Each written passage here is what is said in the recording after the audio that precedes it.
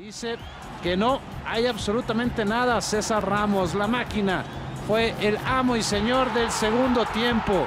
Y ahí está Mora. Ponía el 3 por 1 definitivo. Con eso, con eso Pumas estaba ya muerto y la máquina se enfilaba. Y vendría todavía más en este tiro de esquina, una jugada en donde habría una serie de rebotes, nunca puede despejar la defensa de Pumas.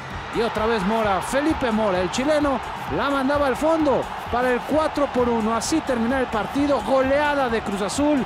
Pumas es una vergüenza, está en eh, los últimos lugares de la tabla general. Cruz Azul se enfila.